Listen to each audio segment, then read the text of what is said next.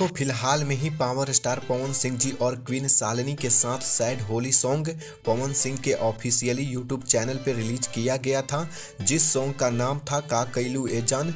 बहुत ही प्यारा सैड होली सॉन्ग पवन सिंह और अनुपमा यादव की आवाज़ में थी और शुरुआती दौर में गाने पे अच्छा रिस्पॉन्स भी मिल रहे थे और यूट्यूब के म्यूज़िक सेक्शन में एक नंबर पे ट्रेंड किया था पवन सिंह जी का न्यू सैड होली सॉन्ग का कैलू ए जान। वैसे दोस्तों बता दे, गाना बहुत ही बेहतरीन था और आप लोग इस सॉन्ग को पवन सिंह के ऑफिशियली यूट्यूब चैनल पे जाकर इस गाना को सुन सकते हैं। और ये तो रहा दोस्तों पवन सिंह जी और क्वीन सालिनी के साथ पहला सैड होली सॉन्ग और नेक्स्ट होली सॉन्ग पवन सिंह जी का आएगा भी तो क्वीन सालिनी के साथ ही आने वाला है। जहाँ तक मुझे उम्मीद है दोस्तों, वैसे बता दे कि दोस्तों एक होली सॉन्ग आस्था सिंह के साथ भी शूटिंग कंप्लीट हुई है। तो हो सकता है दोस्तों नेक्स्ट गाना आस्था सिंह के साथ भी देखने को मिल सकता है।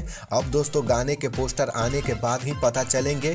कल या परसों दोस्तों आप सभी लोगों को पवन सिंह जी का दूसरा होली सॉन्ग का पोस्टर देखने को मिल सकता है। क्योंकि दोस्तों काफ़ी कम समय बचे हुए हैं और तीन होली सॉन्ग अभी भी पवन सिंह जी का वेटिंग में है। तो दोस्तों बहुत जल्द ही ये सब बैक टू बैक गाने रिलीज़ कर दिए जाएँगे और दोस्तों चैनल को सब्सक्राइब करके रखे ताकि नई अपडेट पवन सिंह जी का आप तक बहुत जल्द पहुँचे।